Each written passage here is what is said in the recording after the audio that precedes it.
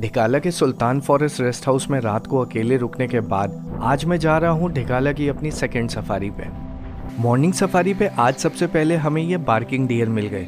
वैसे तो ये बहुत डरपोक होते हैं, लेकिन अभी रोड के किनारे आराम से घूम रहे हैं। और थोड़ा ही आगे बढ़ते, हमें अलग अलग प्रकार के वुड पेकर देखने को मिल गए। ढिकाला के फ़ेमस ग्रासलैंड तक पहुँचते ही यहाँ स्पॉटेड डियर की अलार्म कॉल चालू हो गई। थोड़े देर तक यहाँ वेट करने के बाद भी अभी तक कोई टाइगर निकल के नहीं आया। लेकिन थोड़ा आगे जाते ही हमें ये रेयर दिखने वाला येलो थ्रोटेड मार्टिन मिल गया। सफारी में इनको देख पाना टाइगर को देखने से भी रेयर है और मैं इनको बस लाइफ में दूसरी बार ही देख रहा हूँ।